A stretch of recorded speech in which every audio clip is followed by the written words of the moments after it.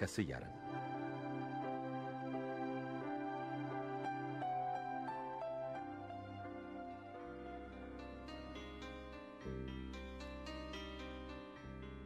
Alın yazısı 18. bölüm Yapım yönetim Mehmet Köseoğlu Yazan Seçkin Başkan Uyarlayan Tayfun Türkili Seslendirme yönetmeni İskender Bağcılar Neslihan Gürgün Kayıt Halil Gültekin Montaj Mahmut Acar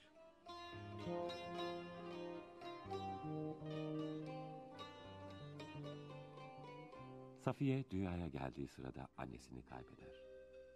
Bu sırada köyü terk eden babası Behzat İstanbul'da akıl hastanesine düşer ve 19 sene sonra iyileşerek mafya elemanı olarak çalışmaya başlar. Diğer yandan İstanbul'da zengin iş adamının tek oğlu olan Turgay serseri bir hayat yaşar. Ailesi Turgay'ı düzelir ümidiyle Safiye ile evlendirir. Ancak bunun bir faydası olmaz. Turgay kumara para yetiştirmek için babasının fabrikadaki müşterilerini dolandırarak milyarlarca para alır. Ayrıca mafyadan aldığı borç da durmaktadır. Sıkışınca çaresiz yurt dışına kaçar. Bu sırada oğlu tarafından müşterilerinin dolandırıldığını öğrenen baba Cahit Bey ve ailesi perişan olurlar. Mafyada çalışan Behzat uzun yıllar sonra Muammer öğretmenden Safiye'nin kendi kızı olduğunu öğrenince onunla görüşmek ister.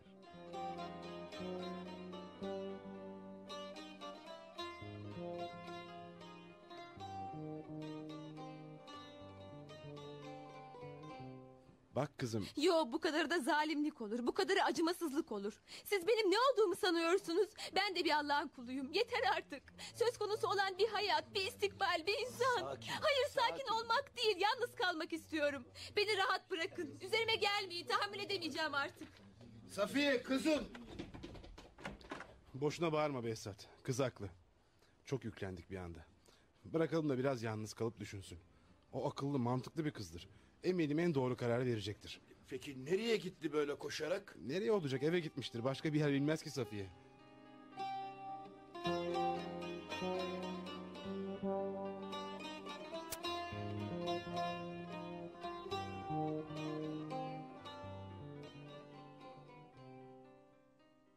Allah Allah. Nerede kaldı bu kız mahalle? Hiç böyle yapmazdı. Ezandan önce evde olurdu. Bak sakın başına bir iş gelmesin kızcağızın ha. Merak etme Cahit. Safiye Muammer'le birlikte çıkmıştı. Neredeyse gelirler. E, Muammer sabahleyin Safiye ile birlikte alışveriş yapacağını söylemişti. E bu saate kadar ne alışverişiymiş bu böyle? E, Bilmi ah, ah geldiler galiba. Gülsüm açıver kapıyı. Kızcağız buraların yabancısı. Başına bir iş gelecek diye ödüm kopuyor muhalla valla. Selamünaleyküm. Aleyküm selam. Yahu neredeydiniz bu saate kadar mı? Meraktan öldük Muammer. Safiye nerede? Safiye mi? Evde değil mi o? Yo. Seninle değil miydi? Alışveriş yapmayacak mıydınız birlikte? Benimleydi ama sonra eve gitmek için benden ayrıldı. Kaçta ayrıldı? E, Çok oluyor enişte saat 12 falandı. Yapma ya. Demek altı saat önce ayrıldı senden. Ay, hemen polise haber verelim Cahit. Buraların yabancısı o başına mutlaka bir iş gelmiştir. Durun acele etmeyin bekleyelim. Eninde sonunda çıkıp gelecektir. Ne demek istiyorsun sen Muammer? Safiye bugün olağanüstü şeyler yaşadı enişte. Bir insanın kolay kolay kaldıramayacağı şeylere şahit oldu. Ne oldu anlat Muammer ne oldu? Safiye doğduğu gün kendisini terk eden babasını buldu abla. Ne?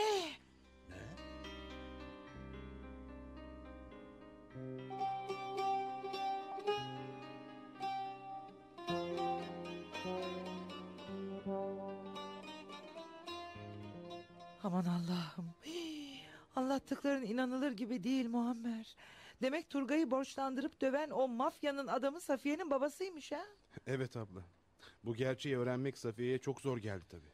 Gelmez olur mu? Gelmez olur mu? Safiye'yi en çok da Behzat'ın onu kendi yanına çağırması zora soktu. Hayır olamaz. Safiye'yi katiyetle bırakmam. Onu kimseye bırakmam. Doğru doğru söylüyorsun Cahit. Ben bakarım Safiye olabilir. Alo. Alo hocam benim.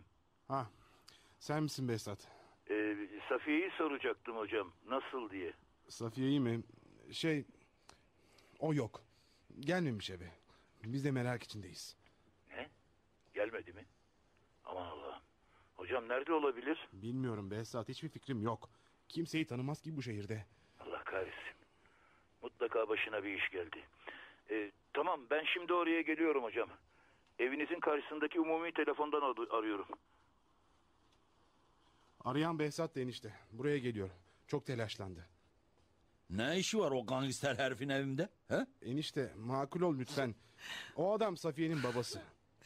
Önce oğlum Turgay'ım gitti. Şimdi de gelinim. Ben o yavrucağı bağrıma bastım. Oğlumun yerine koydum. Bulun Safiye'yi bana bulun. Dur hele bir hanım ağlama. Bulacağız. Bulacağız elbette. Ben açarım Behzat'tır gelen.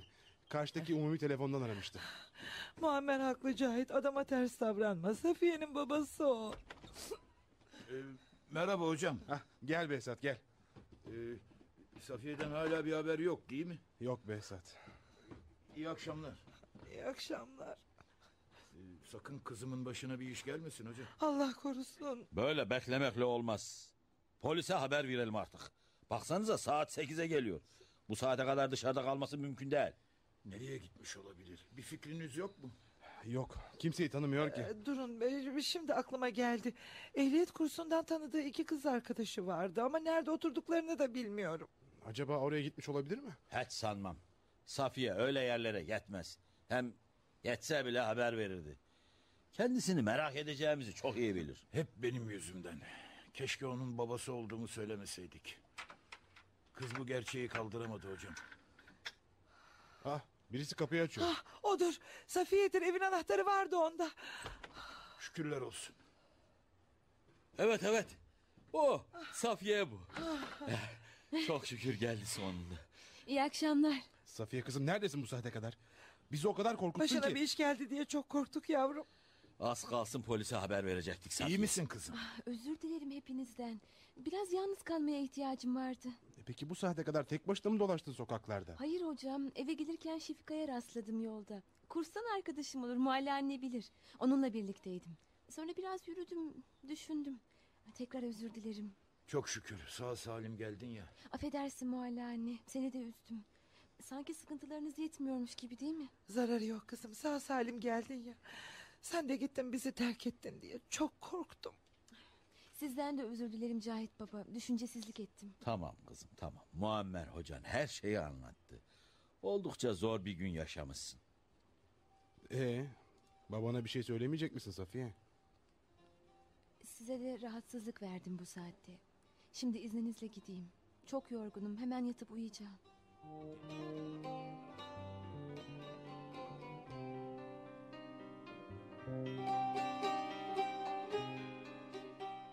Genç Safiye, köylü kızı Safiye, haksızlıkların kurbanı Safiye, kendisini küçük yaşta terk eden babasıyla kendisini kızları gibi seven bir ailenin arasında kalmıştı. Kendisine haksızlık etse de babasını bulduğuna seviniyor ama öte yandan gelinleri olduğu aileyi bırakamıyordu. Bu arada Safiye'nin yaşamına mutluluk yerine acı katan, ana babasını yataklara düşüren Turgay neredeydi, ne yapıyordu?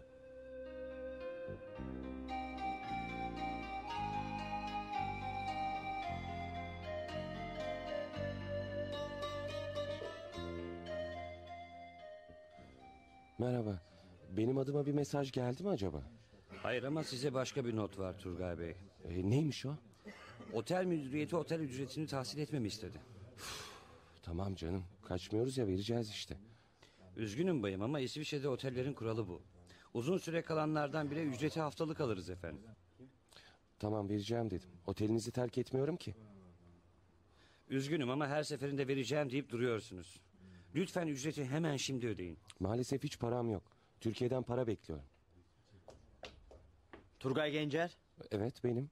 Siz kimsiniz? federal polis. Sizi tutukluyorum. Ne? E, e, tut- tutukluyor musunuz?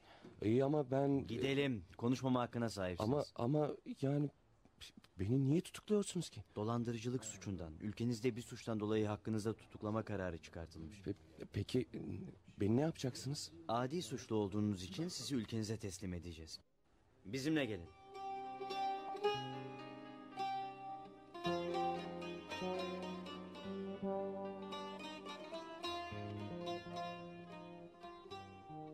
Ee kayınço.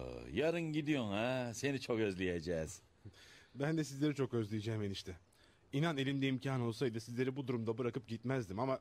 Ne yaparsın ki benim de köyde okulumda bekleyen öğrencilerim var. Allah senden razı olsun Muammer. En acılı en zor günlerimizde bize manevi destek oldun kardeşim. Bundan sonra bu görevi Safiye yapacak abla. O Bu akşam gidişin şerefine senin için güzel yemekler yaptık Muammer. Zahmet etmişsiniz. Ne zahmeti Muammer. Köydeki yaşantını biliyorum. Kimin kimsen yok. Yine her akşam yağda yumurta yapıp yiyeceksin işte. Yemeğe Behzat'la çağıralım mı enişte? Bırak şu mafya bozuntusunu be Muammer. Bu da nereden geldi aklına şimdi? Öyle ya da böyle Safiye'nin babası enişte. Hem Behzat eski Behzat değil. Bıraktı o işleri. Safiye'nin kızı olduğunu öğrenince çok değişti. Muammer doğru söylüyor Cahit. Behzat'ı da çağıralım yemeğe. Sevinir adam. Bu vesileyle Safiye'yi de görür zavallı. Hey hey çağırmayalım. Ama bakın ben söyleyeyim. Safiye'yi o adama katiyen vermem. Bunu aklınıza bile koymayın tamam mı? Sakın aklınızdan dahi geçirmeyin. Cahit böyle konuşma. Safiye eskisi gibi sahipsiz değil. Sen beğensen de beğenmesen de Behzat onun babası. Ama bizim de gelinimiz. Bizim de kızımız o. Biliyorum ama yine de bir babası var bunu unutma. Eh, Safiye bizi terk edip de babasıyla gitmez değil mi? Ona öyle bağlandık ki zor günlerimizde evlat sevgisini onda dattık. Bizi bırakmaz değil mi? Hiç sanmıyorum enişte. Safiye öyle bir kız değildir. Ama Muhalle ablamın dediği gibi artık onun da bir babası var. Bu gerçeği kabul etmek zorundasın. Haklısın Muammer. Hadi telefon açıp onu da çağır. Bu akşam hep birlikte yemek yiyelim ha.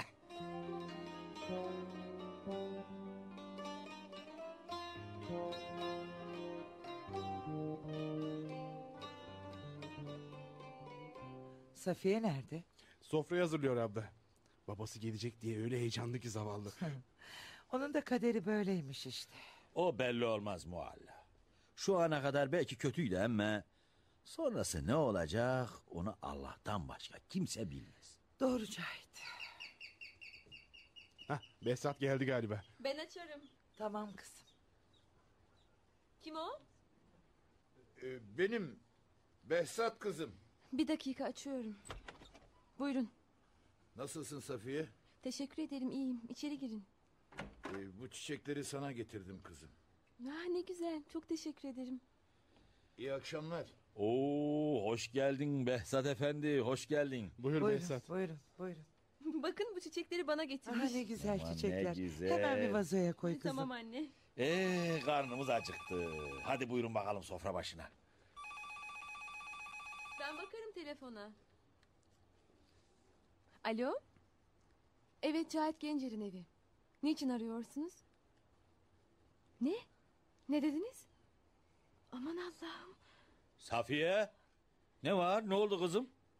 Turgay. Ne olmuş Turgay'a yoksa ölmüş mü oğlum? Hayır. Yakalanmış. Emniyetten arıyorlar. Ne? Yakalanmış Dur, mı? Dur bırak bana ben konuşayım ver. Alo. E, Kimsiniz ne oldu? Ben Turgay'ın dayısıyım. Evet. Nerede yakalanmış? Evet anlıyorum. Pe- peki şu anda nerede? Tamam. Peki teşekkür ederiz. Ne olmuş Muammer? Anlat. Turgay'ı nerede yakalamışlar ha? İsviçre'de yakalamışlar enişte bir otelde. Peki şimdi neredeymiş? İstanbul'da emniyet müdürlüğünde abla. İsviçre emniyet makamları bugün Türk polisine teslim etmiş Turgay'ı. Şu anda sorgusu yapılıyormuş. Peki bizden ne istiyorlar? Yarın mahkemeye çıkarılma durumu varmış. Bir avukat bulun diyorlar. Şu senin avukatlara haber verelim hemen. Yok yok. Hayır. Olmaz Muammer. Ama enişte Israr etme Muammer. O serseri hepimizi perişan etti, hasta etti, mahvetti bizleri. Kendi başının çaresine baksın. Benim öyle evladım yok. Oğlum Cahit yapma. yapma enişte yapma o senin evladın. Böyle bir kalemde silip atamazsın. Suçlu bile olsa senin evladın o. Olmaz. Olmaz olsun öyle evlat. Turgay bir hata yaptı ama sen de aynı şekilde karşılık veriyorsun. Cahit lütfen. Lütfen Cahit yalvarırım beni daha fazla üzme dayanamıyorum artık. Cahit baba, Söyle kızım. Turgay'ı kurtarın. O sizin evladınız. Benim de kocam. Peki kızım. Peki. Gidelim Muammer. Siz Behzat Efendi. Burada Safiye ile kalın. Ben de geliyorum sizinle. Oğlumu özledim. Onu görmek istiyorum. Yok yok olmaz muhalle. Bizim bile görüp göremeyeceğimiz şüpheli zaten. Bu halde gelemezsin. Eniştem doğru söylüyor abla. Sen en iyisi yat. Yoksa yine tansiyonun çıkacak. Bir de seninle uğraşmayalım. Biz bir haber alırsak sana bildiririz. Peki. Peki Muammer. Safiye ben odama gidiyorum yavrum. Peki Muhalle anne.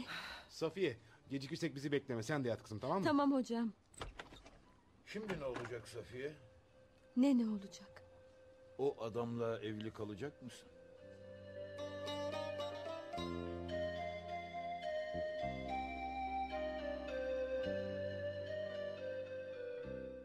Alın Yazısı adlı oyunumuzun 18. bölümünü dinlediniz. 19. bölümde buluşmak üzere hoşçakalın.